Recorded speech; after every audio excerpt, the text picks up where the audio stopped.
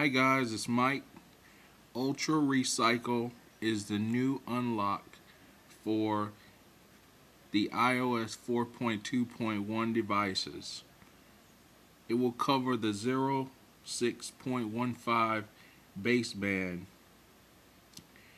So we're going to jump right in here real quick. You're going to need to download two things. You're going to need to download the iPad IPSW the link will be in the description.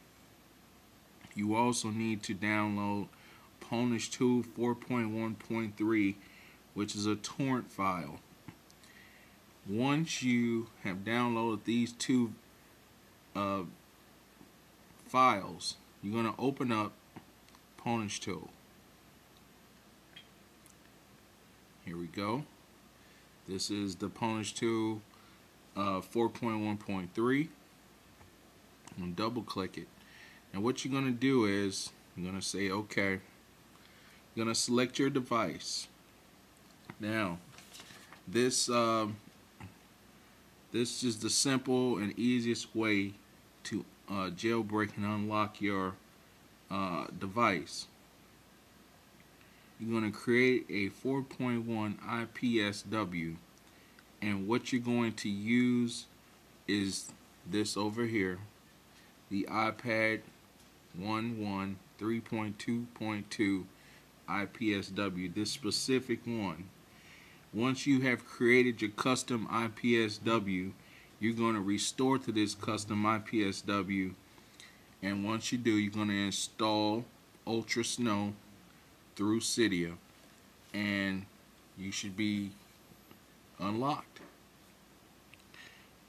One of the downfalls to this is you will not be able to downgrade your baseband. Once you are at 0.6.15, you're stuck there.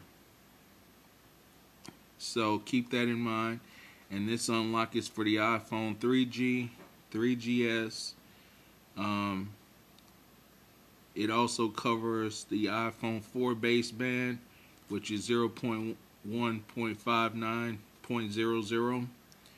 This covers all basebands 0.4.26 through 0.6.15 for the iPhone 3G and 3GS.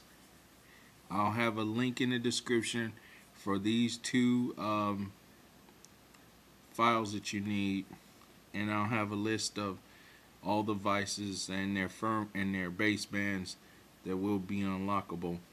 So again, please rate, comment, and subscribe. Catch you in the next video. Peace.